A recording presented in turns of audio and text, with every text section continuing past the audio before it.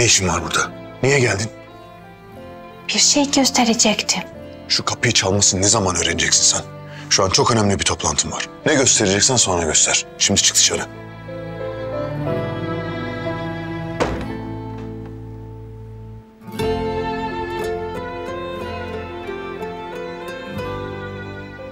Anlaşma falan umurumda değil. Milyonlar da.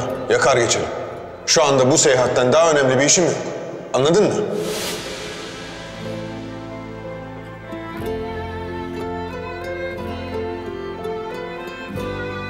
Pinar haklı mı yoksa?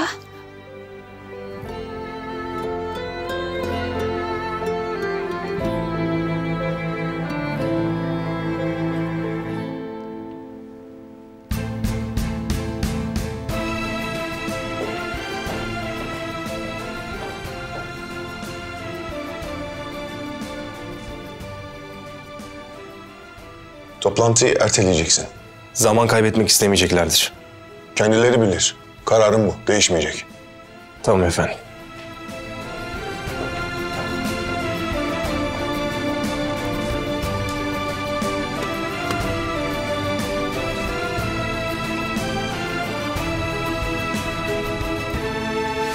Anlaşma falan umurumda değil. Milyonlar da. Yakar geçerim.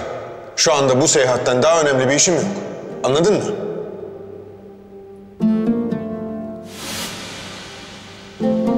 Duyduklarını yanlış anladı kesin.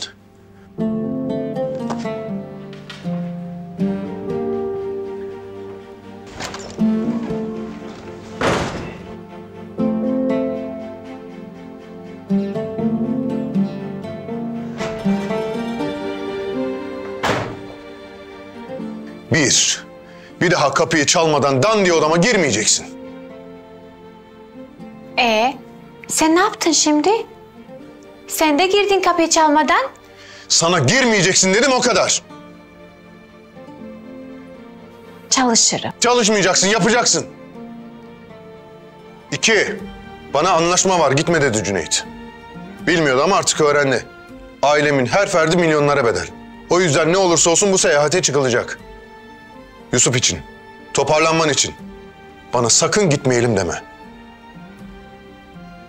Tamam. Demem. Üç, doğru düzgün hazırlan. En ufak bir aksilikte neler olacağını biliyorsun. Biliyorum.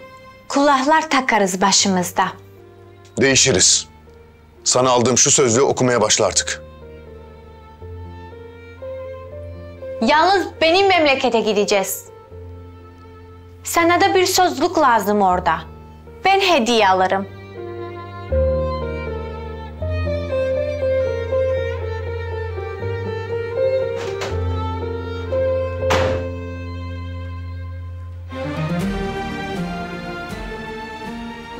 Duydun mu kalp virüsü? Yine bir şey oldu sandın. Ama yok işte. Beni ailesi gördüğü için öyle demiş. Ah Pinar, kafamı hep sen karıştırıyorsun.